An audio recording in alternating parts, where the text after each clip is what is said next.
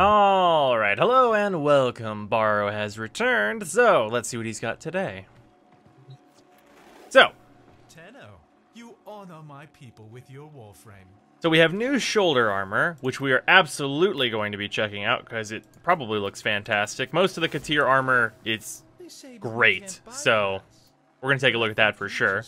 Uh, otherwise, we have the impact set. Uh, so, with one very, very minor exception, which is collision force being used as a stat stick part um, for Atlas, which is super extra gimmick. These mods are all like pretty much worthless unless you're just trying to collect them. Uh, but that one use case on an Atlas stat stick is, I suppose, worth mentioning for Collision Force if you're looking into that. Otherwise, we have the Prova Vandal, which still sucks even with the new machete stance. Uh, like, you could use it, but why would you?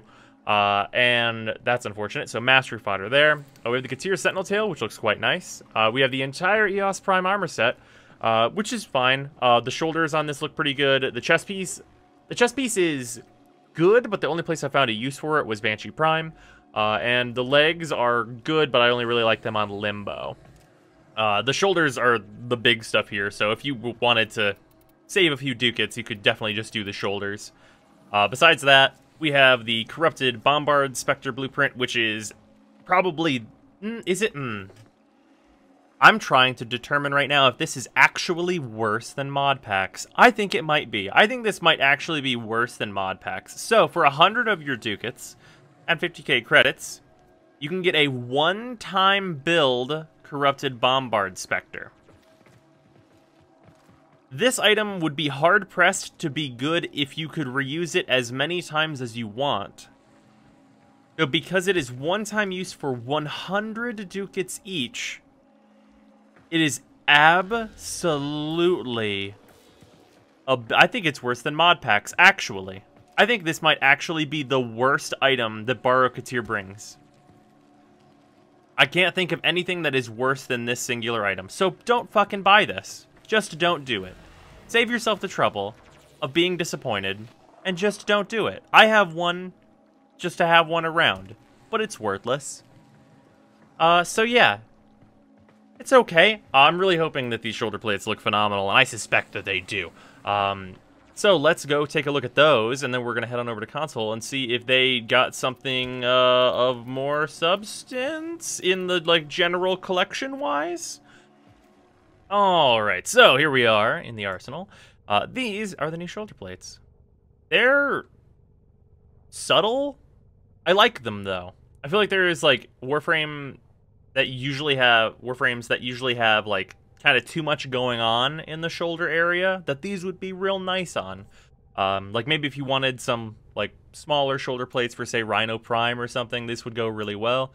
Uh, and then in the Excal colors, like a solid metallic channel. Uh, so like in gold, if we wanted to look at that real quick.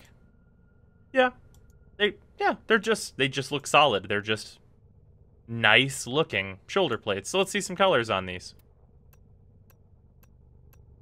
They color well, as you would expect of a Ki'Teer item.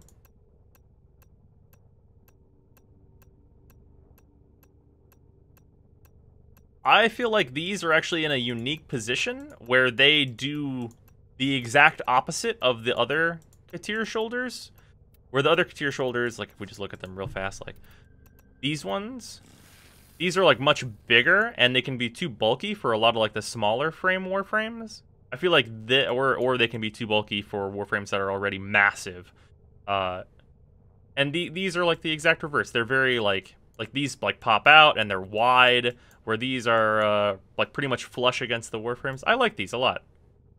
I uh, I appreciate how different they are, but still with like the good, nice Ki'Teer patterning on, patterning on them. Uh, so yeah, really solid. Uh, so I'm gonna see if I can get close for. Yeah, yeah, it's real nice. It looks really good. Uh, and then of course the old Ki'Teer are much larger. Yeah, looks very nice. Uh, so we're gonna head on over to console and see what they got today. All right, and over here on console, we uh, have the beacons, which are fine. Uh, Mantis Prisma skin, which is nice cosmetic. Same with the Ki'Teer Sugatra. Uh, the regular Ki'Teer Sandana, which I'm really not a fan of. Uh, and then we have the Quanta Vandal and its Aufeis skin. Pro probably get both of these. The Quanta Vandal is quite a good weapon.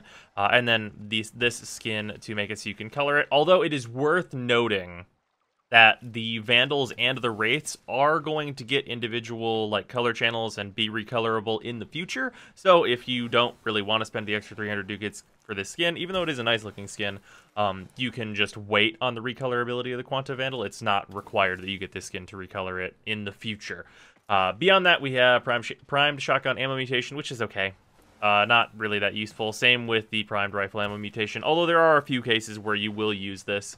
Um, but most cases, you're just going to be using carrier.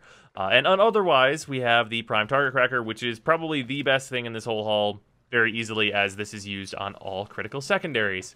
Uh, besides that, we have the Anaros tomb scene, which is wonderful. I think it's the largest of all of the Captura scenes, if I'm not mistaken.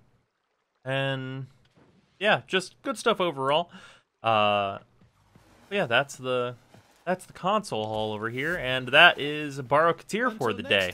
Um, it is worth noting that today is both the Baro Ki'Teer day and also the DevStream day, so the DevStream video is going to be coming to you guys later today, uh, and also we're going to be playing on the free-to-play on a stream later today as well.